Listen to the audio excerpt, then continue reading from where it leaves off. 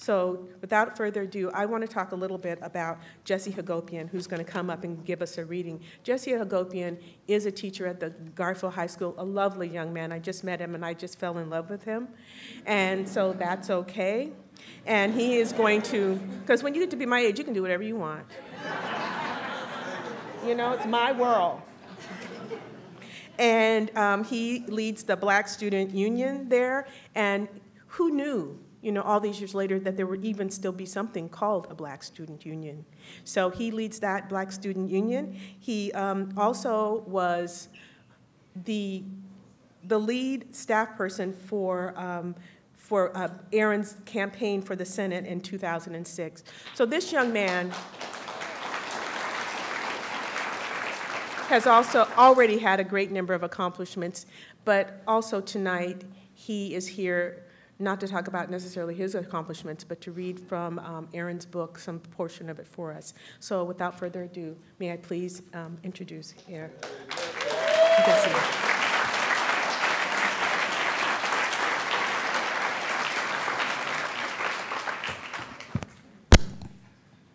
I want you to imagine that it's 1968 and, you know, Johnny Smith and Tom, uh, and John Carlos and Tommy Smith are raising their fists at the 1968 Olympic Games. The Tet Offensive has gone off in Vietnam, showing that the U.S. is not all powerful, and it's the beginning of the end of that war.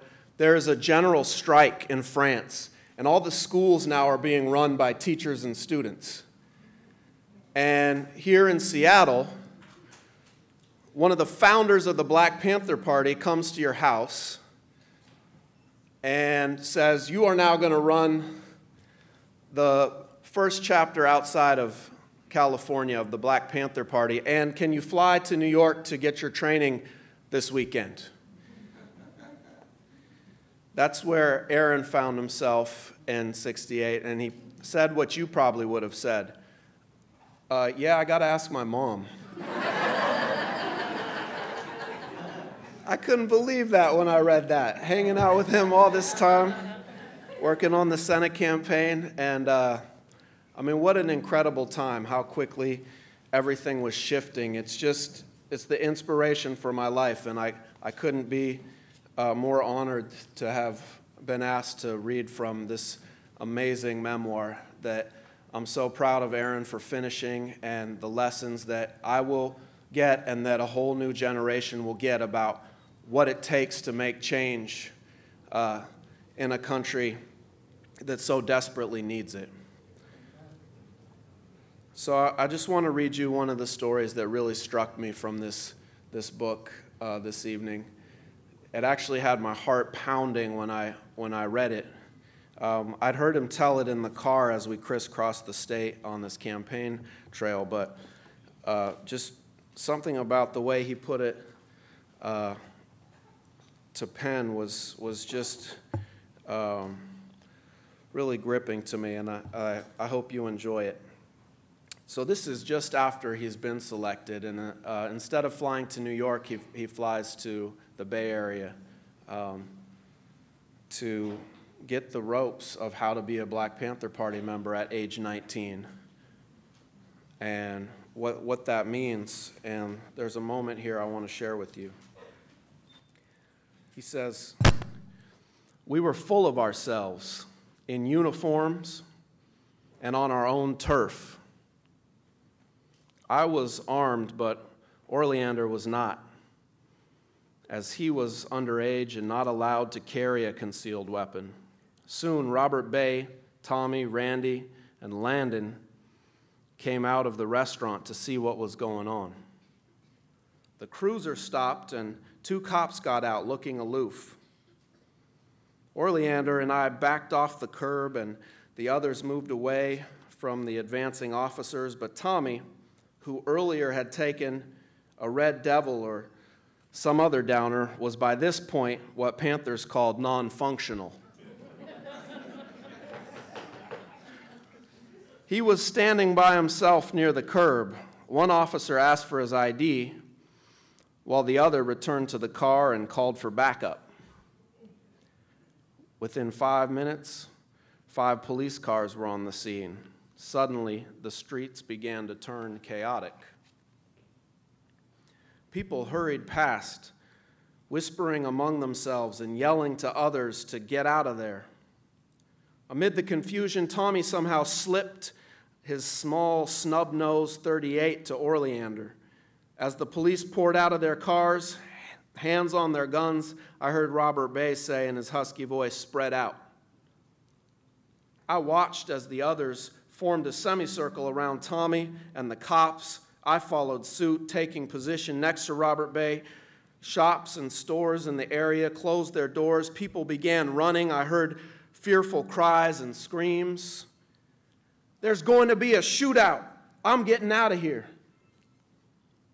I remember seeing a young brother, probably a year younger than me, wearing uh, McClymonds high school letterman's jacket, carrying two bags of our groceries in his arms, probably heading for a quiet dinner at home. Our eyes met for a split second, his expression full of fear, my eyes pleading, Stay, help. He must have read my mind. He sputtered out, Man, I would like to stay and help, but I got to get home. In a second, he was gone, leaving me, leaving us, just like all the other people fleeing. The same people for whom we had taken up the banner, the same people we had pledged to defend. The comrades spread out with hands on their guns. In that brief second, Fear engulfed my entire body. Images of my childhood and my family flashed before me, yet I understood that here, on this very corner, with my newfound comrades on this fateful night, was where I belonged. I placed my hand on my gun in preparation for the worst. Within minutes, the streets were empty except for a few prostitutes who refused to leave, proclaiming loudly, "We ain't gonna, we ain't going nowhere. We gonna stay out here with our brothers." Tommy was arrested, and the seven or eight pigs, now bunched together, turned their attention to the remaining five of us. For a split second, time seemed to stand still. The Oakland night was deathly quiet. Orleander was standing to my right, legs spread apart, toothpick still dangling out of his mouth, semi smiling as he always was. Robert Bay to my left looked like an immovable object. Randy stood erect and motionless, hand on his gun, almost daring the cops to make a move. Landon was out in front, his right hand on that big 44. The pigs, on the other hand, were huddled together on the corner, hesitant wondering what we were going to do next. That is, all except for the hard looking lieutenant out in front of his fellow officers. The lieutenant was almost face to face with Landon, hand on his service revolver. Like Landon, he too probably had been to Vietnam. He blurted out, I'm going to search you. Landon defiantly snapped back, You ain't going to search me the lieutenant began moving towards Landon. In turn, Landon slowly, carefully backed up. I thought about the TV blown to bits by Landon's 44. The air was thick and heavy and eerily silent. The thoughts of blood and death lingering. The lieutenant repeated his demand to search, and Landon continued to resist. The five of us stood by trying to maintain our defiant postures. Suddenly, while stepping backwards, Landon slipped and stumbled on the lid of a garbage can. The rattling sound reverberated, puncturing the tension and silence. Landon caught himself from falling and quietly bounced and uh, quickly bounced back up, maintaining his position, his hand still on his gun. Then, just when we thought the blood would surely spill and the death would be upon us, the lieutenant and the rest of the cops quietly and slowly backed up, silently got into their cars, and drove off, making a U turn beneath the transit construction project and headed back downtown. It was over. The pigs had decided that this warm spring night was not the time they wished to die. And for us, we had chosen this night as our own time to stand our ground. Moments after the pigs left, some prostitute friend of Captain Crutch took our weapons for safekeeping in case the cops came back with reinforcements. We were not, to, uh, we were not about to give up our weapons to the cops, not after what had happened to Bobby Hutton just a few weeks earlier. We split the scene. That night, I stayed at the house with Robert Bay, Landon, and Randy. The tension had been so tight. The cops' fear of the, of the combatants so heavy that whatever rationale they might have given for backing out of this potential bloodbath was understandable. Simply put, we appeared to be more prepared to sacrifice our lives than they were. This was our street, our community. As Panthers, we had drawn the line in the sand. Although I was grateful to have escaped that potential gun battle, I felt proud of myself. I also felt this experience forever cemented my relationship with these four comrades.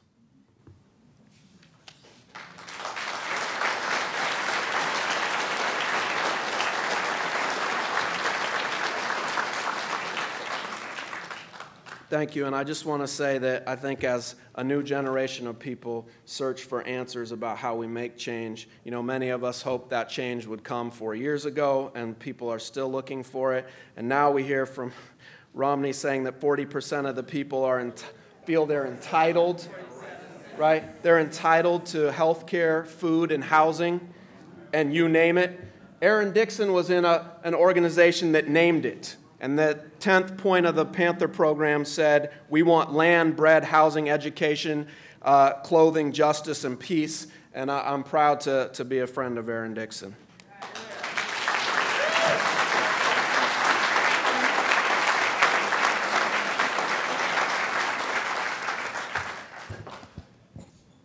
I'd like to begin by uh, thanking uh, Aaron Dixon for giving me the honor of introducing him to all uh, of you.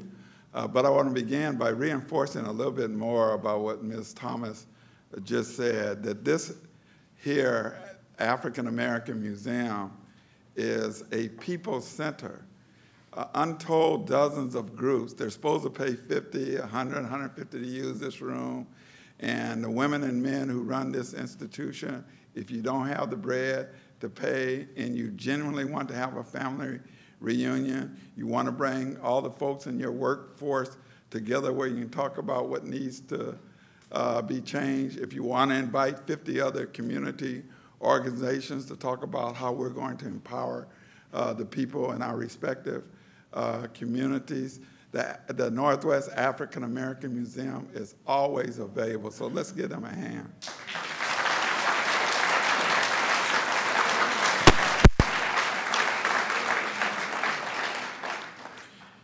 Aaron Dixon, in his book, My People Are Rising, talks about a very important time to remember, basically 1968 to 1978. Matter of fact, a time to remember up until just about six months ago uh, was going to be uh, the name uh, of this book. Uh, after I read it for the first time, I thought it should be called uh, the last Panther standing. I'm serious, and I'm going to tell you why, and then we're going to bring uh, Aaron forward. Um, Aaron, uh, as was indicated, joined the Black Panther, uh, was a, a, a, founder of the Seattle chapter of the Black Panther Party, which was the first uh, organ, uh, organization or chapter formed and recognized by the national leadership outside the state of California. And in mid April 1968, uh, uh, Bobby Seale came up here, uh, who was the chairman of the Black Panthers, of course, at that time, and uh, met with about 50 to 60 young African Americans.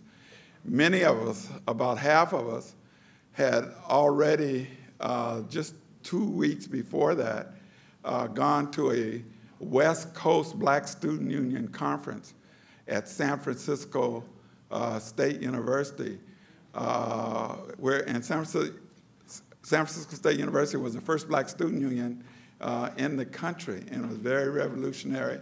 And by, that, by the time we went down there, many of the members of the Black Student Union there were also uh, members of the San Francisco, Oakland, or Richmond chapters of the Black Panther Party. Uh, so they had gotten their chairman, uh, Bobby Seale, to be the keynote speaker uh, for all of us black students that had come. It was 30 of us from Seattle.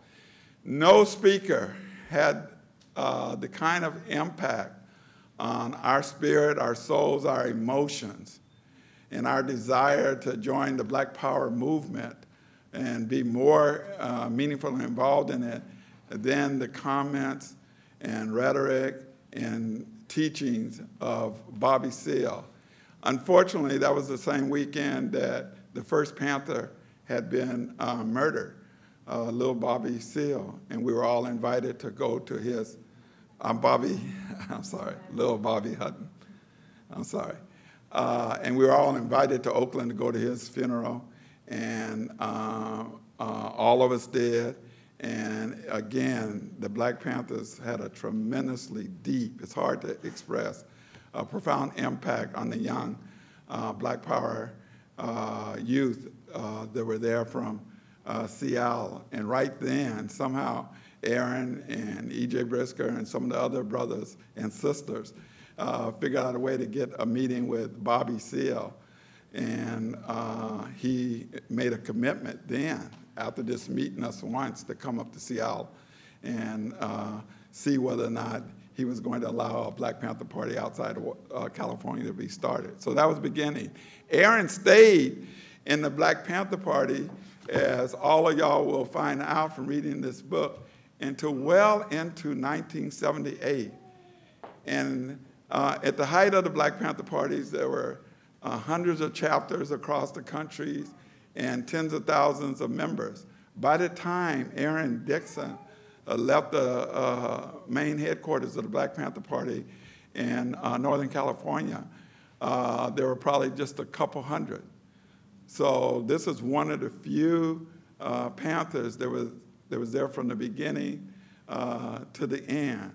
And many of you Seattleites, one of the things that occurred in 1968 uh, was that uh, the white power structure in Seattle, Washington was aghast. They just couldn't believe that their Negroes would become involved in the black power movement.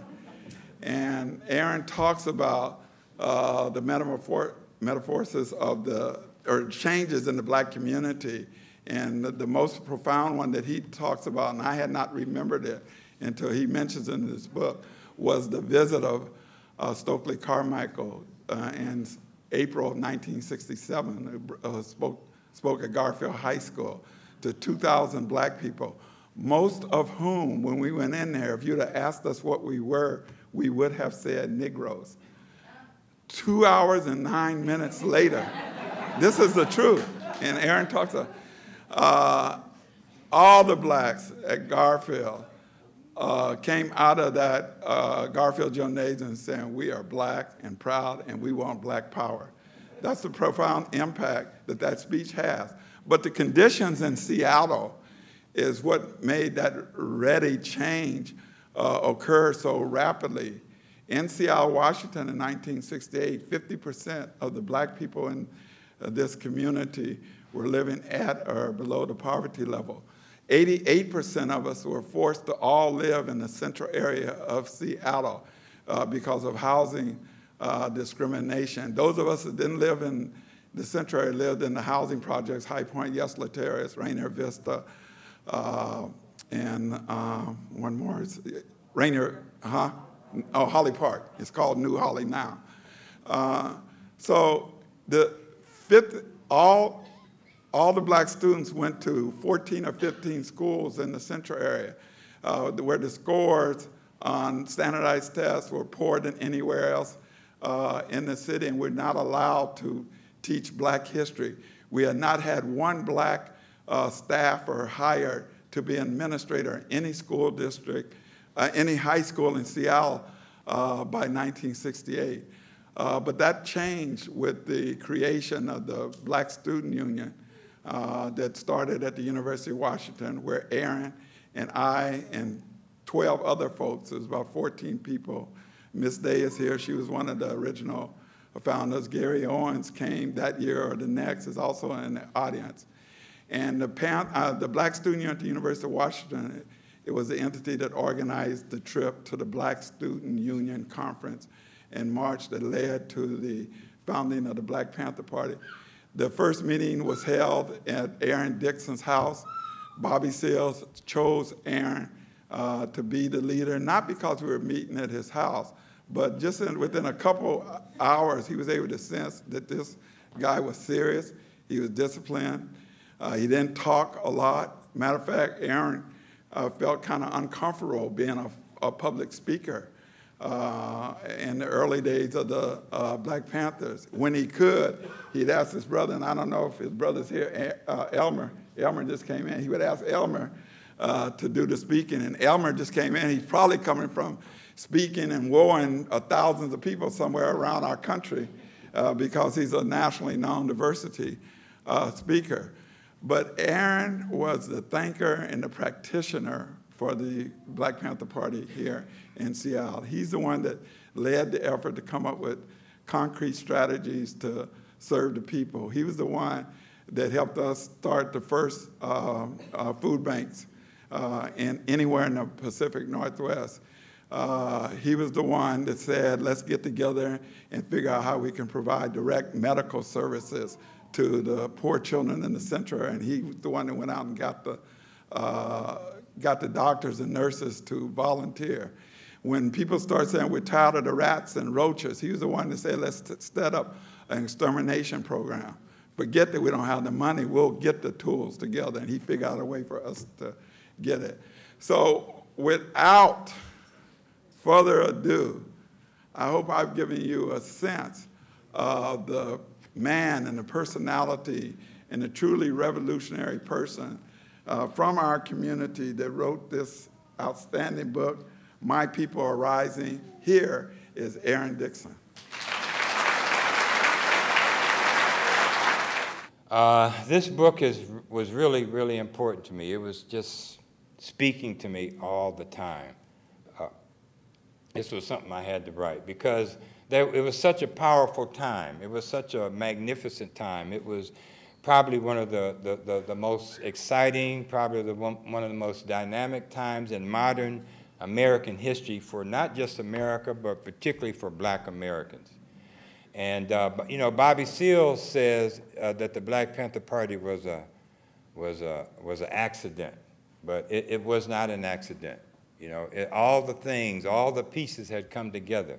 You know, because my generation, we were a generation that was very much connected to history. I lived in the house of my great great grandmother in Chicago for a small period of time. And she was born in 1867. And, you know, we, we heard her stories, we listened to her stories. We listened to the stories of my grandparents on, on both sides, my, my mother's parents and my father's parents. We listened to the stories of our parents.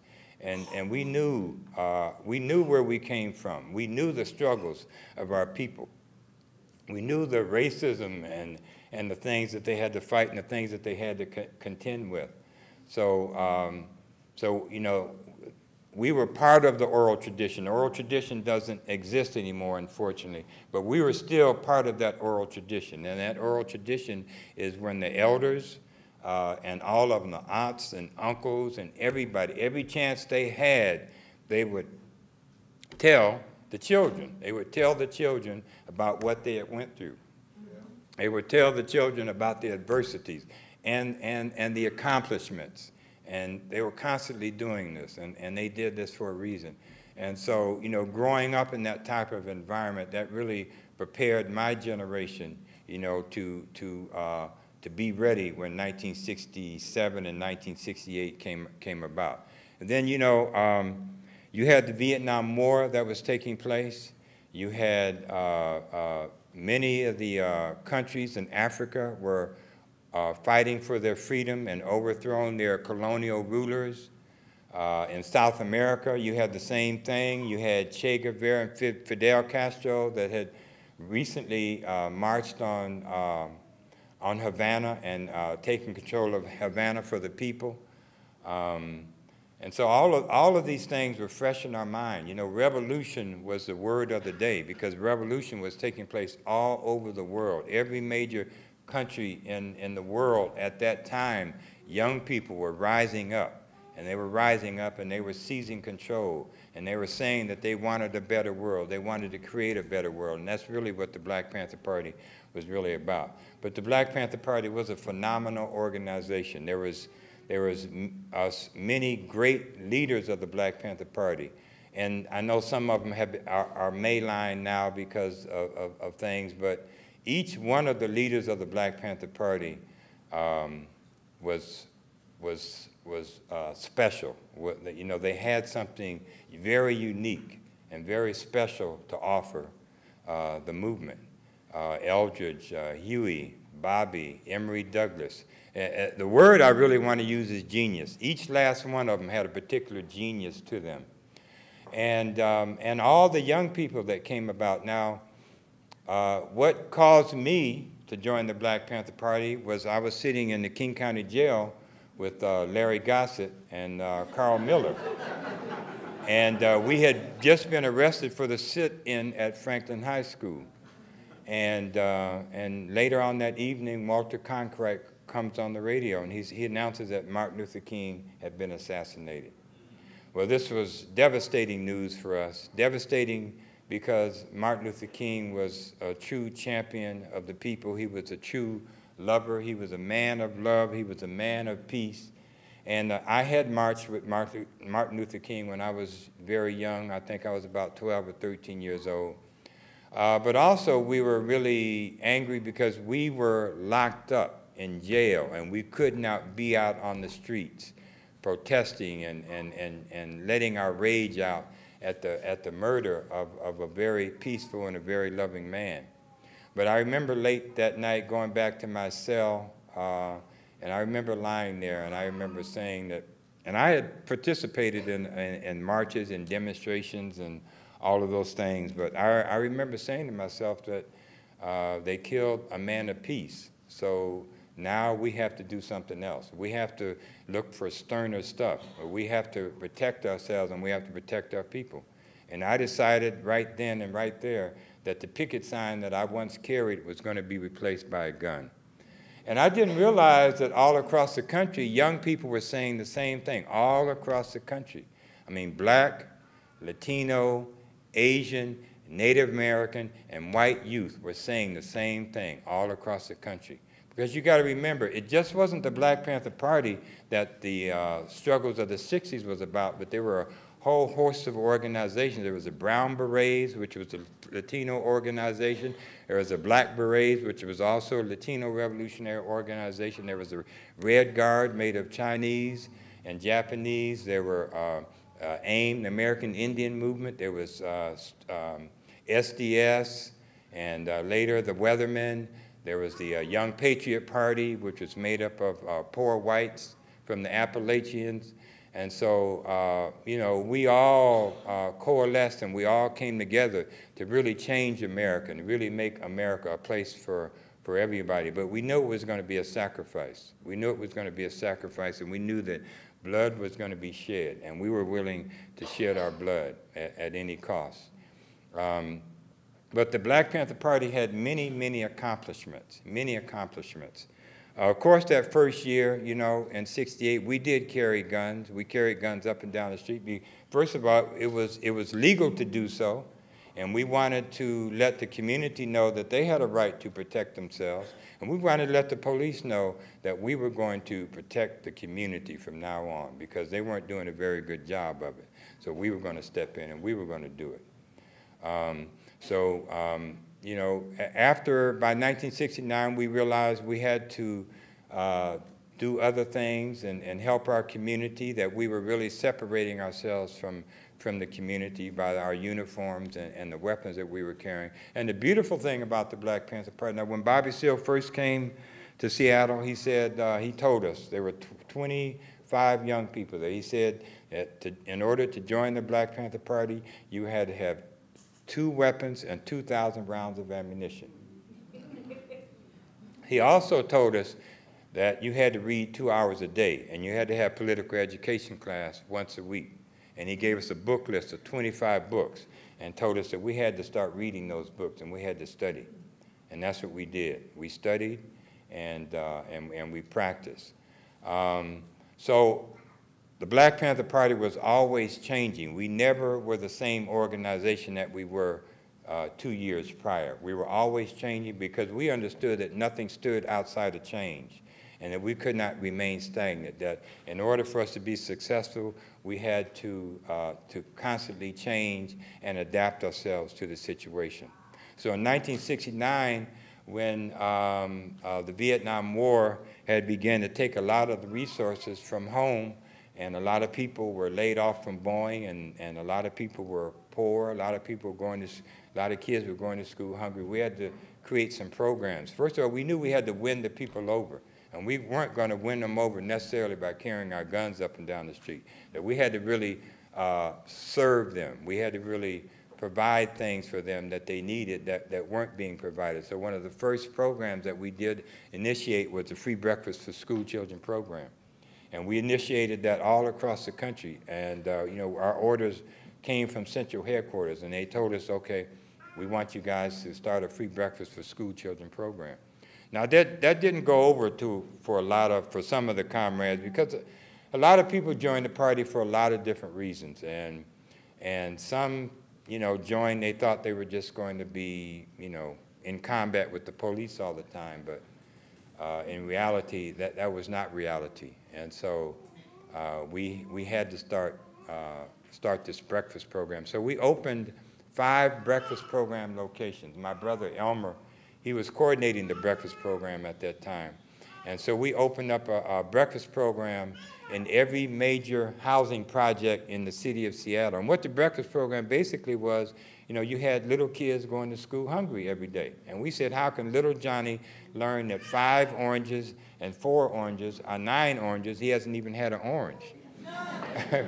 so we went to community centers, we went to churches that were near elementary schools, um, and this was one of the first, this uh, Coleman Elementary School was one of the first breakfast programs that we opened. Uh, Ike Ikeda, um, who ran Atlantic Street Center, he was a, one of the first persons that opened the doors to the concept of the breakfast program. A lot of the black churches were, would not let us use the churches. Uh, but we're, we're thankful that Ike Ikeda opened the doors for us at Atlantic Street Center, and we launched the first breakfast program. And, you know, Panthers would get up at 6 in the morning. They would go down to the uh, community centers, wherever they were, and we would prepare breakfast, and the kids would come in and eat breakfast. And, uh, you know, Elmer would uh, be out during the day collecting donations, going to uh, Gay's Bakery and wherever we can get, uh, get money and, and get food for the breakfast programs. Um, and uh, then uh, one of the beautiful things that happened with the breakfast program, and I just met somebody tonight who told me that her mother worked in the breakfast program in Holly Park. But one of the, a unique thing happened is a lot of the welfare mothers started coming down to the breakfast program and asked what they could do to help. And so pretty soon they took over the breakfast program. All we had to do was make sure the food was there. And they prepared it, and they cleaned up, and they sent the kids on the way. And what this did was this empowered a lot of those mothers. It empowered them to take uh, uh, action in their community and, and, empowered them to take action in their own lives and work towards achieving a lot of the goals that they had, uh, had neglected. Um, so uh, shortly after we started the breakfast program, we started another program called the, uh, the, free, um, the, the Free Medical Clinic. This was the first free medical clinic in the Northwest, and we opened up the Sidney Miller Free Medical Clinic. Um, and uh, there was a, a, a doctor named John Green who was a neurosurgeon at, um, at the University of Washington. And he just showed up at our office and said, I'm going to be you guys' doctor. And one, of the first uh, things that he had to deal with was the comrade that shot himself in the foot. Uh, so that was one of, the, one of the first things that Dr. John Green dealt with. But when we got the order to open up a medical clinic, we charged full steam ahead with developing this concept of the medical clinic. And we got doctors to volunteer their time, we got nurses to volunteer their time, we got community people to volunteer their time. Dr. John Green would let us back up uh, his van. We'd take his van down to the University of Washington Hospital, and he told us, you guys wait here, and he would go in there and do whatever he was doing, and, and we start loading up, loading up. so um, it, was, it was a very short time before we had our medical clinic open. Um, and uh, like I said, it was the first community medical clinic in the Northwest because at that time there were no small community clinics. They didn't exist. And so we laid the foundation for community clinics. That's why we have community clinics today, uh, is because of what the Black Panther Party did. But we went on to start many, many, many programs. We, we had the uh, free legal aid program, uh, which we had lawyers come down to our community center twice a day, uh, twice a week to volunteer their time for people who could not afford uh, uh, to see an attorney. They could come to our community center and they could meet with an attorney and the uh, attorney would give them advice or representation if they needed that. Um, and then uh, we started the uh, first food bank. It was a Black Panther Party that started the first food bank. We started giving out bags of groceries out of our office every once a week, every Wednesday. We gave out bags of groceries. Um, then we started what was called the Liberation School. They did not have uh, summer programs for working parents at that time. So we started what was called the Liberation School, um, and, and, and we started it at Rainier Vista. And parents could drop their kids off to the Liberation School during the summer, and we provided breakfast, we provided lunch, we took them on field trips, and uh, we educated them, and uh, we did a lot of things with the kids. And, and a lot of young people grew up in that liberation school. Uh, but we went on to start so many, many programs. It would take me a long time to really uh, talk about those, all those programs. But um, uh, being in the Black Panther Party was a lot of work. You know, we got up at 6 in the morning after being on guard duty. Everybody had to be on guard duty uh, for two hours because the police and the FBI were trying to kill us. They were trying to annihilate us. And so we had to fortify our offices. We had to take weapons training. We had to make sure everybody knew how to use a weapon. Everybody had to do security two hours a night from 10 to 12, 12 to 2, 2 to 4, 4 to 6. 6 o'clock, everybody had to get up and get ready and go out to the breakfast program. They went out to the breakfast program and served the kids. They came back, they cleaned themselves up, and they had to go out in the field and sell Black Panther newspapers because the Black Panther newspaper was so important to us. And, it, and the Black Panther Party newspaper was one of the most beautiful and one of the most powerful newspapers in the world.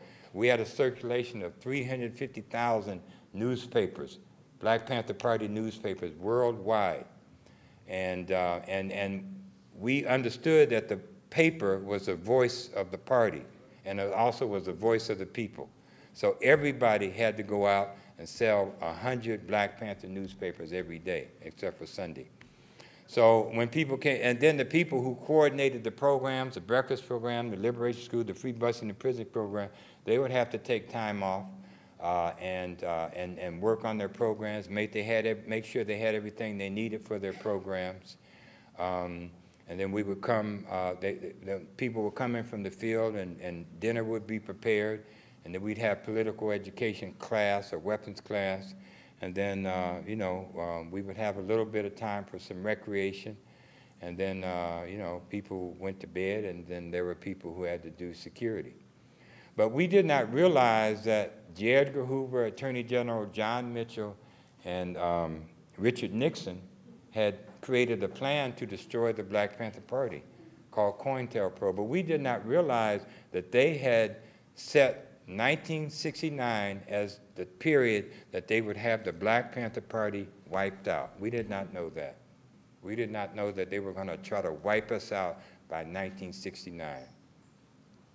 Uh, one night, one day in September, uh, we got a call from a black gentleman who worked for the Justice Department. He wanted to meet with Elmer and I. And uh, we said, no, we don't want to meet with anybody from the Justice Department. But he kept calling back, and he called back, um, and he said it's a matter of life and death. So we decided that we had to go meet him. So Elmer and I went down, and we met him on the corner of where the federal building was. And he told us that the, uh, that the FBI had plans to raid our office and to kill us. And so with that information, we began to fortify our office. But we didn't know that there was a memo sent out by J. Edgar Hoover that said that he wanted three chapters destroyed. He wanted Chicago, he wanted LA, and he wanted Seattle chapters destroyed. We did not know that. And so with that memo, uh, on, the, on, on the morning of December 4th, probably one of the saddest days for me in the Black Panther Party, um, there was a young man named Fred Hampton. If you guys don't know who Fred Hampton is, please, when you get home, get on the computer and look, and look up Fred Hampton. Fred Hampton, along with uh, Bobby Rush, was the founder of the Chicago chapter of the Black Panther Party. He was only 19 years old. He was the same age as I was. And, um, and one of the first things that Fred Hampton did was he went down to the Black Gangster Disciples and the Blackstone Rangers and told them that uh, they were going to have to stop fighting each other. See, I, we're from Chicago, so we knew about the Blackstone Rangers and the Black Gangster Disciples uh, and, and how those gangs were. So Fred told them, you have to stop fighting each other. And as a result, now the FBI did not want this alliance to take place, so they did everything they could to make sure it didn't. So the, the Blackstone Rangers decided to join the Black Panther Party. They changed their name to the Black P. Stone Nation and began to work with the Black Panther Party. But Jeff Fort, who was head of the uh, uh, uh, Gangster Disciples, uh, opted out in, in this coalition. Um, the next thing that Fred Hampton did was he went down to the uh, Latino community, the Puerto Rican community, where Cha Cha Jimenez and a gang called the Young Lords were active. He went down and meet and met with them. Uh, he went down and then he went down and met with uh, in the in the poor white community of Chicago, and he met with the poor whites there, and uh, uh with a brother named Slim, and uh, and formed a, a, coalition, the Rainbow Coalition. This was the first Rainbow Coalition. It was Fred Hampton, not Jesse Jackson, that started the Rainbow Coalition. Okay. So uh, with, the, with the forming of the Rainbow Coalition, this meant that Mayor Daley, who had been the mayor of Chicago since the 30s, would, would be challenged. He would be challenged. And he did not want this. And so uh, Fred Hampton had a target on his head. Fred Hampton was fastly a rising star on the revolutionary, in the revolutionary uh, world of America. He was getting speaking engagements in Europe and in Canada. He was going to be appointed to the Central Committee. He was going to be the first non-California to be appointed uh, to the Central Committee of the Black Panther Party. And I had a chance to speak on the platform with Fred Hampton at the University of Chicago in the winter of 1968. And anybody who met Fred Hampton, when you met him, you walked away and you said, this is a very special young man. And when he spoke, he spoke like Martin Luther King and Malcolm X, all rolled into one. He, uh, he, was, he was a tireless, this man was so dedicated to, to what he was doing that his comrades in Chicago had to tie him down in a chair, tie him down so he could get some rest, so he could get some rest. You know, he would have all the Panthers in Chicago. He would have them up at six in the morning. He would have them at the park. He would have them exercising and doing calisthenics, and he would be doing the call and response. He would say, I am a revolutionary. And the comrades would say back, I am a revolutionary. He said, I will die for the people. And the comrades would say back, I will die for the people. Fred Hampton was, was, was an amazing person. But on the morning of December 4th, the ATF and the Chicago Police Department um, burst into Fred's home and murdered him. What had happened was Fred had been up meeting with his staff till about two in the morning, and, and you know, this is what we did. We, we worked and we met. And when it was time to go to sleep, we went to sleep wherever we were. We didn't need a bed, we didn't need pajamas, we didn't need none of those things. We just went to sleep on a table, chairs, floor, wherever. So Fred met with his staff. Now, his security uh, person was an FBI informant, and he had given the layout to Fred Hampton's pad to the uh, ATF. He had also put some Seconal in Fred's drink, which is a derivative that's in Red Devils that makes you go to sleep and makes you real laid back. And so at, there was a knock on the door at 4 in the morning, and Mark Clark, 19-year-old captain of Peoria, Illinois, went to the door with a shotgun because he was on security. He said, who is it? A shot ran out, rang out, and it killed Mark Clark instantly. Simultaneously, the uh, ATF Chicago police burst through the rear doors with uh, Thompson submachine guns. They burst through the front door. They went in the living room. They got all the Panthers that were asleep. They lined them against the wall, machine gunned them. They went into Fred Hampton's room. His wife, who was six months pregnant, shook him, tried to wake him. Fred, Fred, wake up. But he had been drugged and he could not wake up.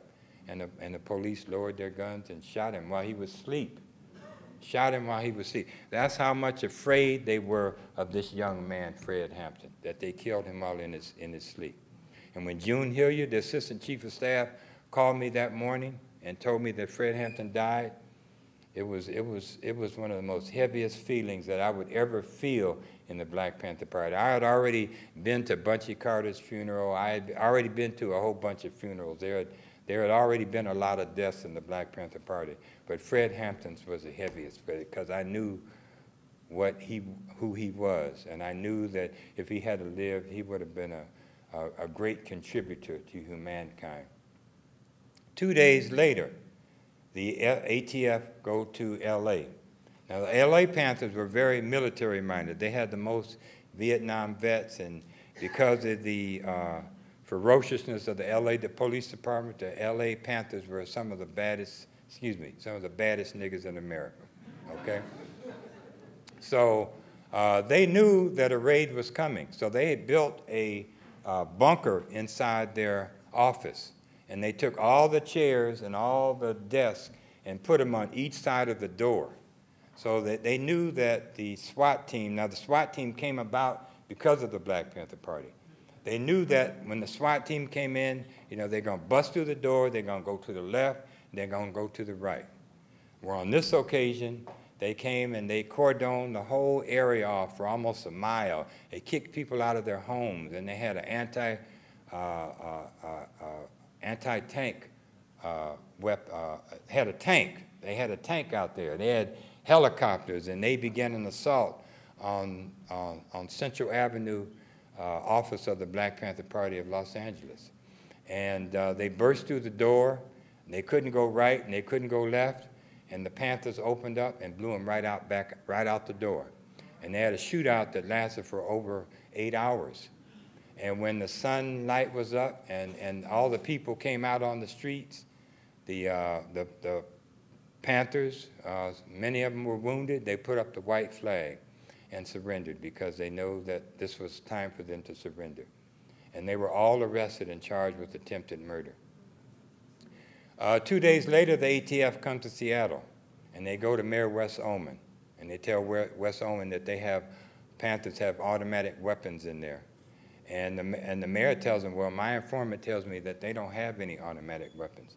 See, Mayor Wes Uhlman, you know, Seattle being the small community as it, as it was, and everybody knew who we were, and, you know, we were doing so much in the community. You know, everybody knew who the Black Panther Party was. They, they knew our names. And, and he know, he knew that he did not want what happened in Chicago or what ha happened in LA to be on his hands. He had a conscience and he was not going to let that happen.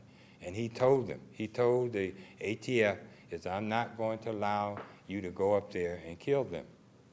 And so as a result, the ATF had to, uh, had to, had to, to abort that plan uh, because they, we know that they wanted to come in and kill us. Now, we had heavily fortified our office. Our, We had double sandbags all the way up to the ceiling. We had steel on the doors, and we had uh, put steel in between plywood, and we had gas masks. Elmer and I got our financial aid checks, our last financial aid checks from the U University of Washington, about $1,400. And all of our money, all of our money went on guns and, and gas masks and bulletproof vests.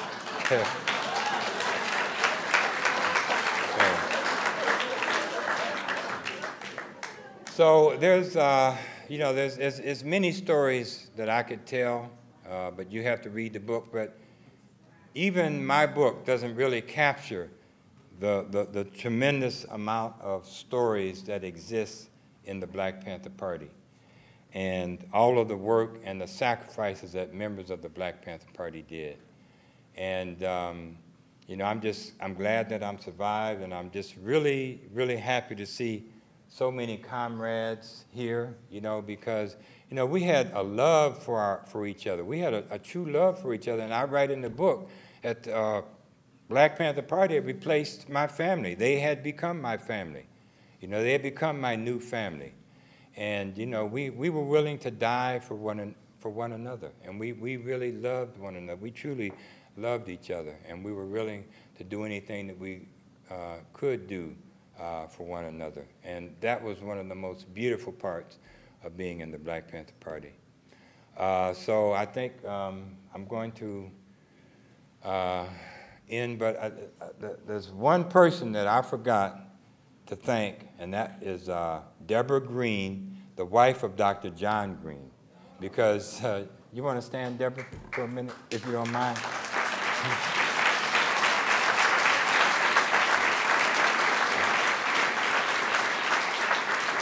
Now, uh, De Deborah helped me get my manuscript completed. She did the first editing of my manuscript, and she helped me get it into a finished product, even though I pretty much threw it in the garbage can and had to rewrite it over again. But she helped me get there, and, I, and I'm, I'm really thankful for her for helping me do that. Um, so I think now, I think we, we need to have some time for question and answer periods. So uh, I want to thank again everybody for coming out, and we're going to open it up for question and answers.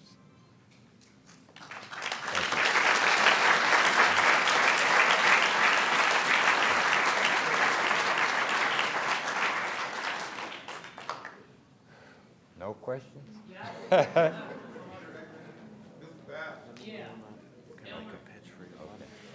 all right. Yes. Twentieth, twentieth and Spruce. Yeah, yeah, yeah. Okay, okay. Now he's talking about the mural that's on 20th and Spruce. If you haven't seen it, you should go see it. But that's where our community center was. We opened that community center in September of 1969. And uh, that's, that's, where, that's the place where we had our fortification. That's where we opened up the first free medical clinic. That's where we started our food bank. Uh, that's where we started our, our, legal aid program and many, many other programs. And, uh, and when we did finally decide to move out of there, you know, they, they had to tear it down because it, it, it was, I'm sorry, it was a fort. it was a fort. But 20th uh, and Spruce, yes, that, that, that's it. Artist. Can you give us a thumbnail sketch of the history of Carolyn Downs? A lot of people know about Carolyn Downs. Okay. Okay, so uh, um, you know, the, the, when we first started the clinic, we named it after Sidney Miller. Sidney Miller was a uh, Black Panther Party member from Chicago who was uh, killed in a very tragic uh, incident, um, and we named the clinic after Sidney Miller. Um, uh, later on, around 1974, we, there was a young lady that joined the Black Panther Party. Her name was Carolyn Downs, and she uh, dedicated herself to working in the clinic. And um, unfortunately, unfortunately, she passed away of cancer, and so we named the clinic Carolyn Downs Clinic, and we created the nonprofit program called Sidney Miller um, Nonprofit Organization. And the clinic is still open today, right there on Yesler, Carolyn Down. This, there's one of, one of two Black Panther clinics that are still open to this very day. What's, what's the other one? Uh, in Portland, Portland, Oregon's clinic is still open. Yes. Uh, Thank you, sir. When I was much younger, I read a history of the Underground Press in America uh, with regard to the frequency of these publications, uh, weekly and monthly, bi-monthly. They quoted, uh, not by name, but they quoted a Panther working very hurriedly on the, on the Black Panther outward who said, "It's a weekly man, it's just that some weeks are uh, longer than others." And I was wondering uh, if you could talk a little bit more about the paper and what it meant to the party.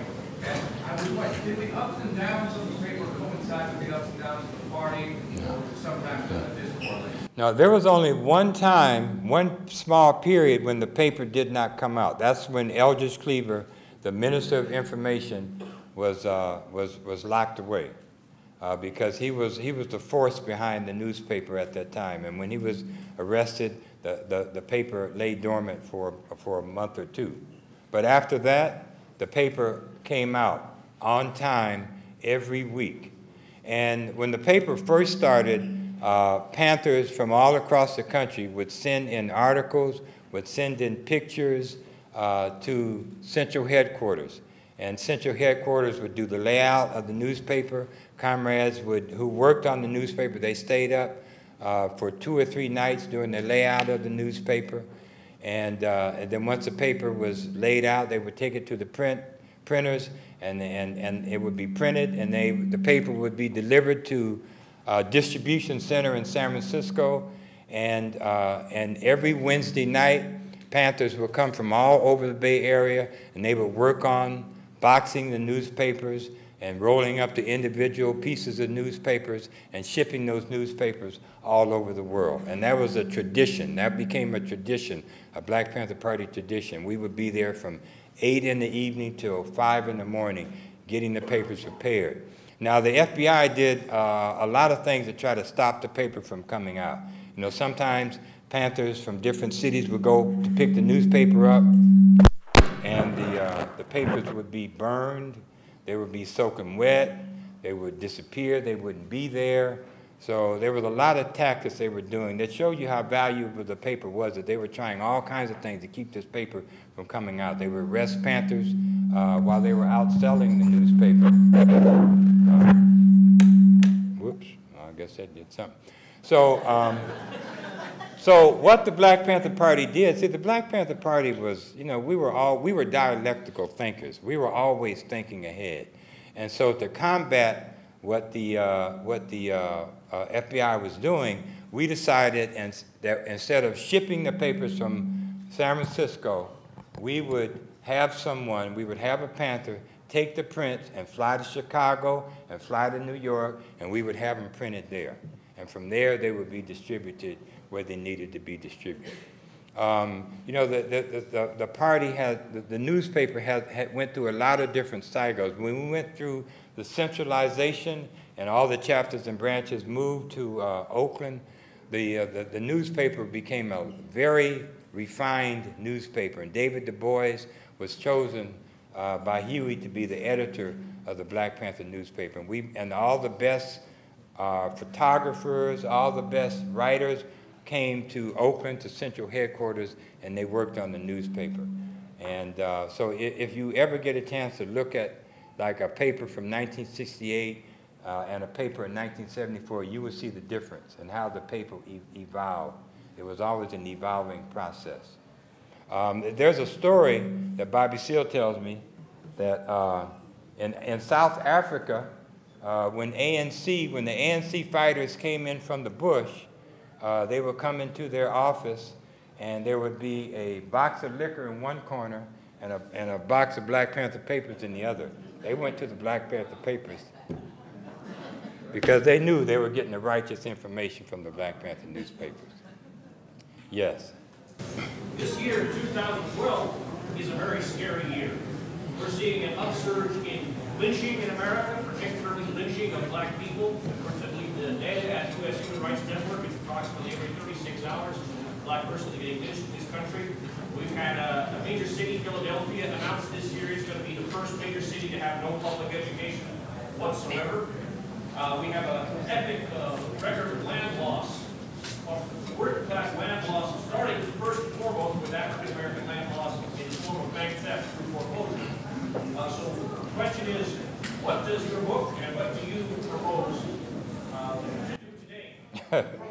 Well, you know, I'm not a politician anymore, and I, I, I, I, I can't stand up here and say what I propose to do because it, I really don't know. I really don't know. The only thing that I felt that I needed to do was write this book, and I wrote this book for the young people and the generations that's coming up. I wrote this book to inspire them because now it's up to them. It's up to them to figure out what needs to be done and how it's going to be done, and, and, and uh, and I, I think that uh, there's a lot of life left uh, in, in the young people here. There's a lot of, lot, lot of life left, uh, left in, in us former members of the Black Panther Party as well. And we will always be there to lend our wisdom and our knowledge and our assistance to the young people. Yes, I'm going to get to you. Yes. Uh, have you ever uh, been wounded? Or I see your arm, your left arm looks like there's something Yeah. wrong with it. Okay. Okay, that's LJ. That's LJ. He was one of the young men that I worked with at Sharples High School. I'm so glad to see him. A lot of the young people that I've worked with are here today, but thanks, LJ, for asking that. And, um, you know, there were a couple of uh, uh, attempts on my life. There was, in, in, in, in regards to his question, um, I had bought a shotgun in Oakland, California. It was a Riot 18 with a bayonet attachment. And, um, and uh, one day, uh, uh, Big Malcolm, Malcolm Williams, who was also a member of the Black Panther Party, we decided that uh, we, we needed to go out and make sure all the weapons were working, uh, in working order. So we loaded all the weapons up in the step van, and uh, we headed out to the Green River to try to find a nice spot. We smoked some hash on the way. Um, we got out to the Green River and we unloaded the weapons and we started, you know, shooting them. We started test firing every weapon. And the last weapon that we test fired was my shotgun, the Riot 18. And Malcolm said, man, that's yours. You go ahead and fire. So I put it up to my shoulder, uh, but there was a voice that whispered in my ear that said, don't fire from your shoulder. Uh, I looked at my watch. I had this uh, young prostitute, and we, we did a lot to help the prostitutes in the community. Whenever Elmer and I would see the prostitutes down on Yesler, we saw young girls that we knew that went to school, we would get them and we would send them home. Uh, there's a whole chapter in there in, in the book that talks about uh, our relationship with the pimps, which wasn't cordial, and how we worked to get these girls off the streets. But there was a young lady who did took she took her pimp's watch. It was a gold watch with um, jade in it, and she gave it to me. And I remember looking at that watch before I fired the shotgun. And so I put it down to my uh, hip, and I pulled the trigger.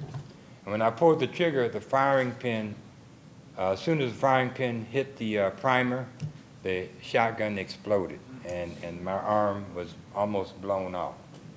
And, um, and uh, you know, we were able, Malcolm, we were able to get to the hospital, and, um, and the doctor said, had I not smoked the hash, that I would have died because I would have lost a lot of blood. so, so, uh,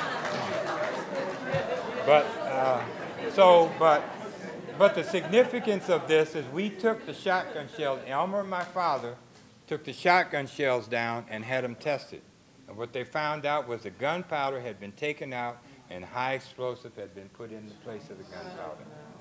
And I had a bandolier of shotgun shells. Everybody knew that that was my personal bandolier. Somebody got hold of it, I don't know who. And, uh, and, and that's what happened.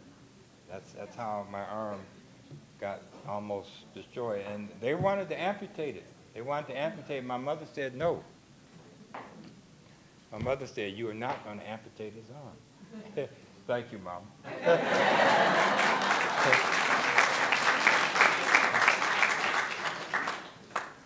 Next question.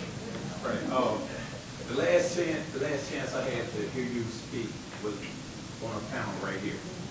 And I came late, so I didn't get the chance to hear what I hear tonight about how the massacre in Chicago of the Black Panther Party. I did a little research on that, that's the reason why I posed that question. And my question was, I don't know if you remember or not, was the Black Panther Party here in Seattle, the same Black Panther Party that was connected to the Black Panther Party that was in Illinois and Massachusetts thing. Because I did research and I heard of the connection they had with the Gangster Disciples, the, the street organization. And you had a chance to speak on that, and you said, you said, you said, uh, you, you cleared the water a little bit, you say, wait a minute, because I was an organization member at that time.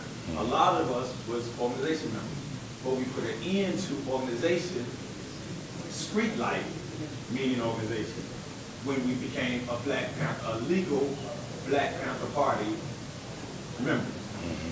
So gang members was obsolete.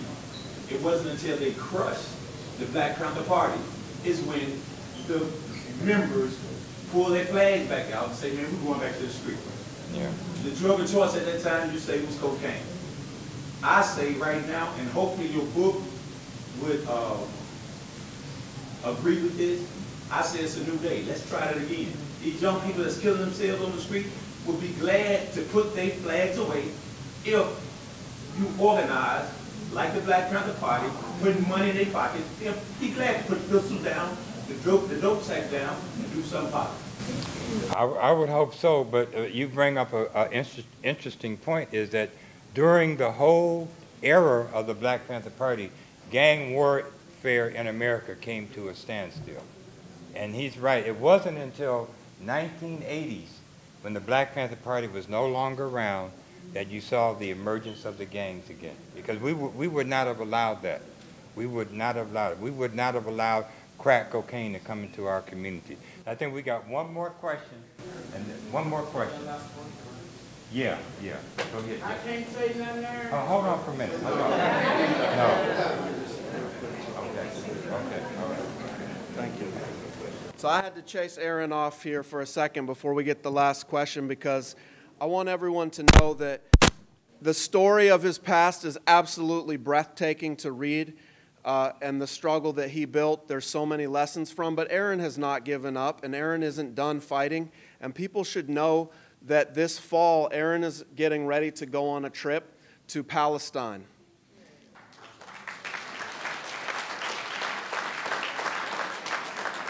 We we haven't done we're not done learning from Aaron and I went on this trip last year it's a it's the African Heritage Delegation uh, to Palestine to make connections between the Jim Crow segregation that African Americans have faced here in the United States and the segregation uh, that Palestinians face as well. And he's going to come back and share the story of black uh, and Palestinian solidarity here in Seattle. And I think all of us should help Aaron get there, right?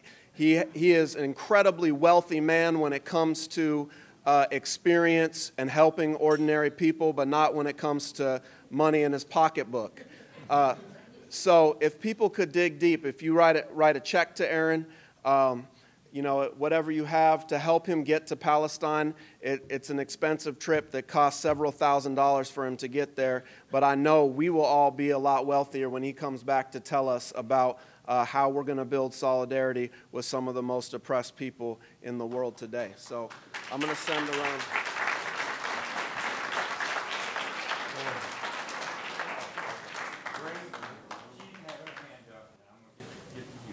Now, you need a woman's voice. Yes. Um, Two things, one thing really quick, Jesse, I hope you're doing your Kickstarter or some, some electronic message. Yeah, We what- can do that as well. Yeah, Yeah. what's the If you website? pop that out, we'll get the information.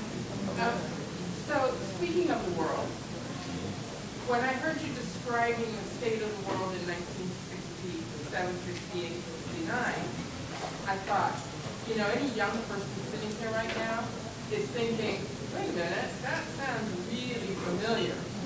So if you, and, and there are young people right now who are doing that organizing work all over the world. If you could give your young self a piece of really important advice right now, what would you say?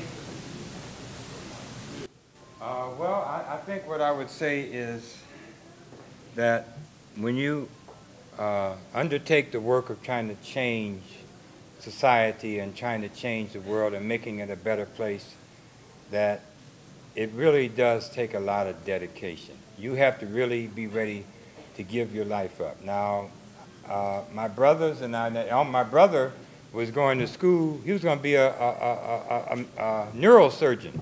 That's what his dream was. That was the dream of my parents. And he was going to go, go to school and be a neurosurgeon. I was going to be a famous playwright and go to New York and be a famous playwright. We were both in school, you know, and, and a lot of other Panthers were in school and had a lot of dreams, and their parents had a lot of dreams for them. But we, we gave all that up. We, we sacrificed those things because we wanted to change the world. We wanted to make it a better place. So I would say that if you're really going to undertake this type of work, that you really have to be willing to give up everything because that's really what it takes. It takes dedication and it takes sacrifice. Uh, Greg? Now hold on for a minute. Greg.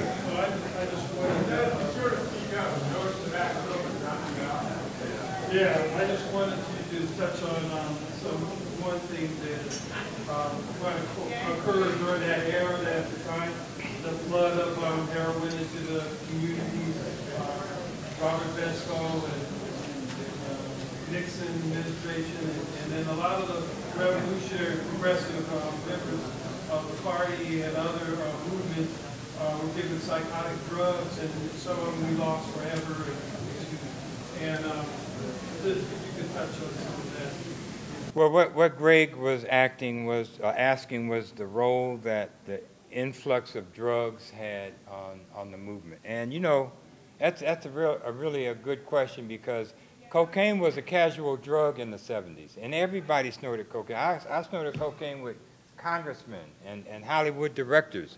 So every, everybody was doing it. But when I went to Oakland in 1972, Oakland was flooded with cocaine.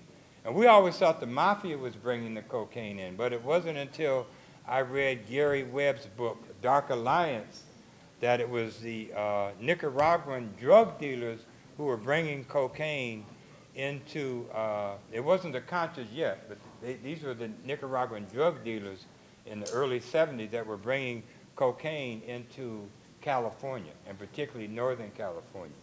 And those drugs found its way into Oakland. And it did affect uh, the leadership, namely Huey P. Newton. Uh, it did affect him and affect his judgment. But there were other things that were happening with Huey, and you can, you know, you could read the book. But, but also what happened was in, in New York, in the Soho community, where the white left was located, there was a tremendous influx of heroin. And, and many of the leaders of the white left became addicted. So uh, drugs you know, these types of things have always been used to deaden the, uh, the minds and deaden the, the, nerves of the people. And uh, I mean, if you haven't read the book Dark Alliance by Gary Webb, then you should read, the, you should read that book. My next book that I'm, I'm working on is called Journey to the Black Underground, and it's going to really touch on what happened in the 80s and the 90s. Uh, I think that's all the questions. Now, I, I, I just want to ask, uh, is Steve Phillips still here? Huh? Steve Phillips, come up here for a minute. Wayne, Wayne Jenkins. Wayne, yeah, I want you two to come up here. I want you two to come up here. Okay.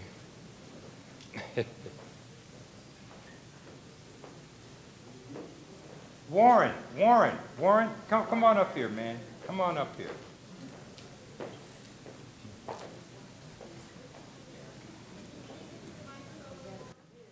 Yeah. Now, these three brothers, these three young men, they were 16 years old when they joined the Black Panther Party. They were some of our fiercest warriors, fiercest warriors. Uh, and, uh, Warren, Warren, Warren was a basketball star. He went to O'Dea, right? Garfield, Garfield, I'm sorry. But he was a basketball star. He and and and I, you know, I, I just I just you know I, I love all the comrades, but these guys were babies compared to us. And you know, I, I just I will always have a tremendous amount of respect for them. I, always, and I just, I just wanted to acknowledge uh, them, and I just wanted to bring you up here, okay? All right. All right. Um, uh, uh, James, James Redmond, James, where did, Ja- James, and, and, uh, Ron, and Gary, and, uh, who else is here? Mark Cook, Elmer. Joyce, Joyce, Joyce, come on up here.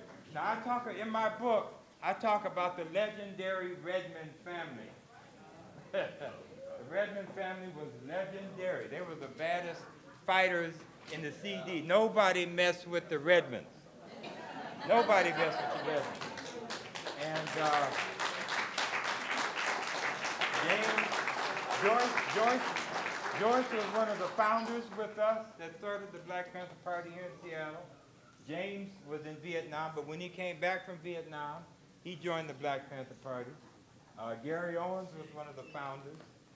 Uh, uh, and uh, uh, Ron Johnson became Elmer's right-hand man in about 1973, 1974. They did a lot of incredible work, a lot of incredible work. Uh, Michael. Mike Tagawa, come on up here. Mike Tagawa, Michael Dixon. Where's Michael D? Jake, Jake Fiddler, come on up here, Jake. Mike, Michael D. Michael D. He's not here. Okay, now Mike Tagawa, he was, uh, he came back from Vietnam. Now you see he's Japanese. He's not black. He's Japanese. he came to Vietnam and, and jumped right in. He, he used to drill the comrades. He used to teach. Him and Guy Kurose were the two Japanese that joined the Black Panther Party. But Mike Tagawa was one of our military experts, and he trained the comrades in how to use weapons. And Jake Fiddler. Jake Fiddler was uh, our distribution manager. He distributed the newspaper through all the stores and everywhere. Mike Dixon, come on up here. Come on. Now, this was our younger brother. He was in high school. He wanted to join the party, but we told him no. We said, two is enough right now. Two is enough. You got to go to school. okay?